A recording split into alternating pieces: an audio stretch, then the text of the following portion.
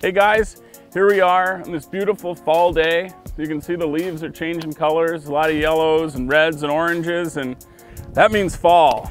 Fall means awesome fishing. Up in the Midwest, as that water starts to cool, the weeds are starting to die off, the fish are starting to feed up and prepare for winter.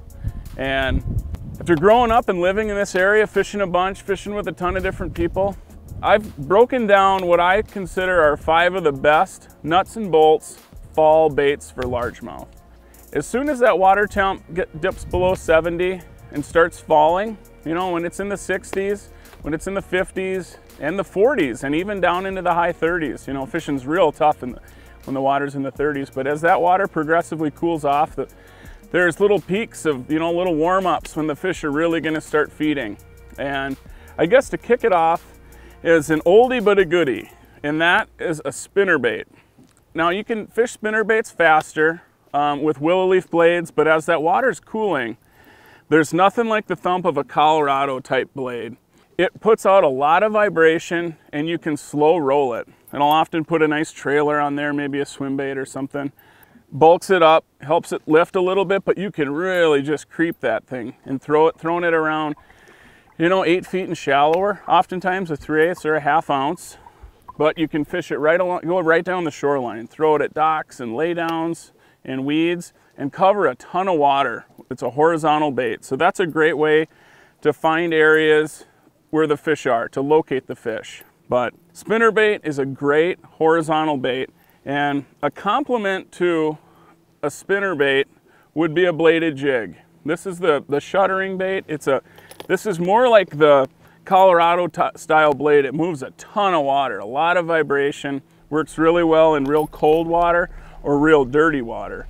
But both of these, I kind of like to mix them up. Some days they're on a spinner bait, some days they're on this. And a lot of times the bladed jig is a lift and fall, lift and fall, just killing it. And they, they pop it on the fall.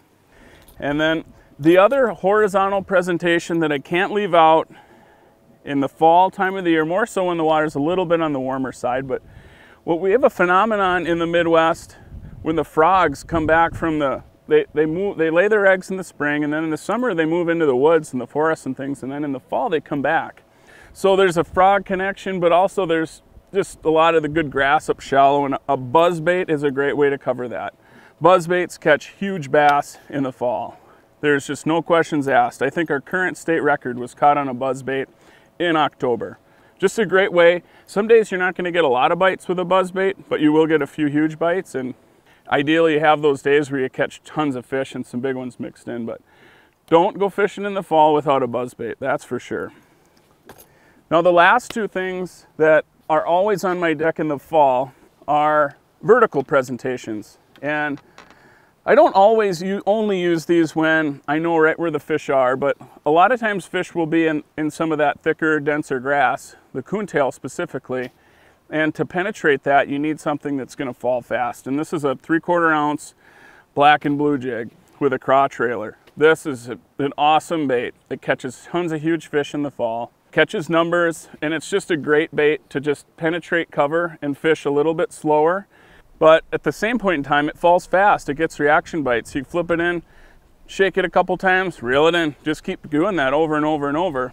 A lot of times, once you find fish with the spinner bait or any of these horizontal presentations, catch a couple, get a couple bites, go back through there with a jig.